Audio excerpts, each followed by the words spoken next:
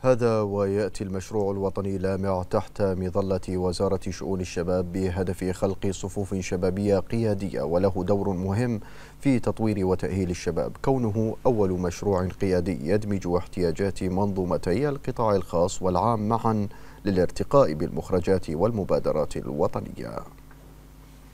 في رحلة نحو مستقبل واعد يقف المشروع الوطني لامع كمنارة تضيء دروب الشباب البحريني.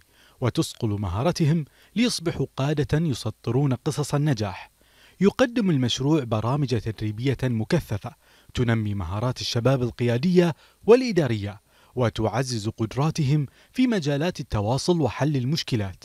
كما يتيح لامع للشباب فرصة بناء شبكات علاقات قوية مع نظرائهم من مختلف المجالات مما يساعدهم على تبادل الخبرات والتجارب ويفتح أمامهم افاقا جديدة للعمل والتطوير المهني.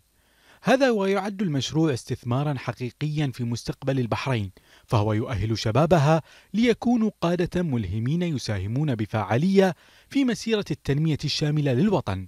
كما يواكب التطورات المتسارعة ويواكب احتياجات الشباب المتغيرة مما يجعله مشروعا مستداما يساهم في بناء أجيال مستقبلية متميزة مع المشروع الوطني لامع يزخر أفق البحرين بالإبداع والابتكار وتشرق شمس مستقبل واعد يبنى على أكتاف شباب ملهم مستعد لصنع الفارق.